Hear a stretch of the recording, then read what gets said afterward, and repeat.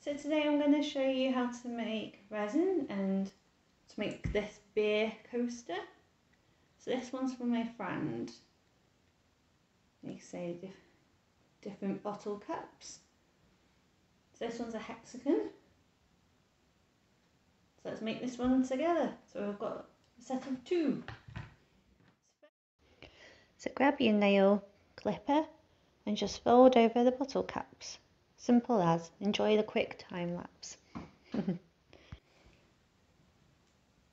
Just wanted to show you guys for a quick second. I've made this one and I never thought I could do this but I've experimented. So actually done a real wax melt you know, and then you put the stamp on it and makes a pattern. So I've made that. It's actually in resin and this is a hundred year old vintage newspaper. So I've cut it up. What I did is laminate it.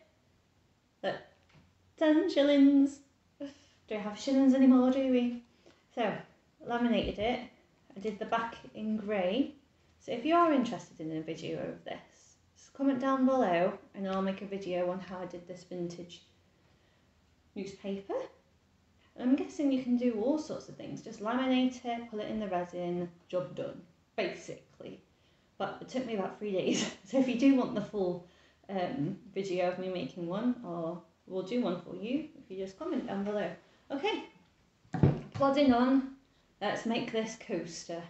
So hey guys, so what I'm doing next is I just poured in 30 mils in here for the hardener and the resin, and then in a see-through cup, so you can see when it's clear, so keep stirring for three minutes.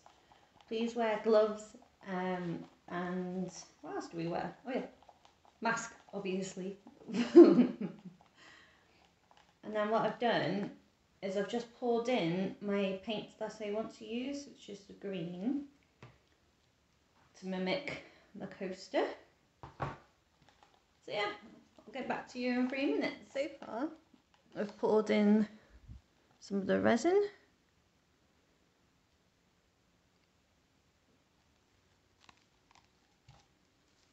coaster with all the resin paint and fill it right up.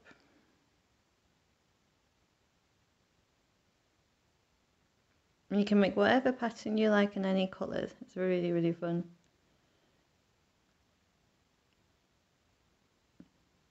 There we go. And just leave it to dry and it should set like this one. See you in a moment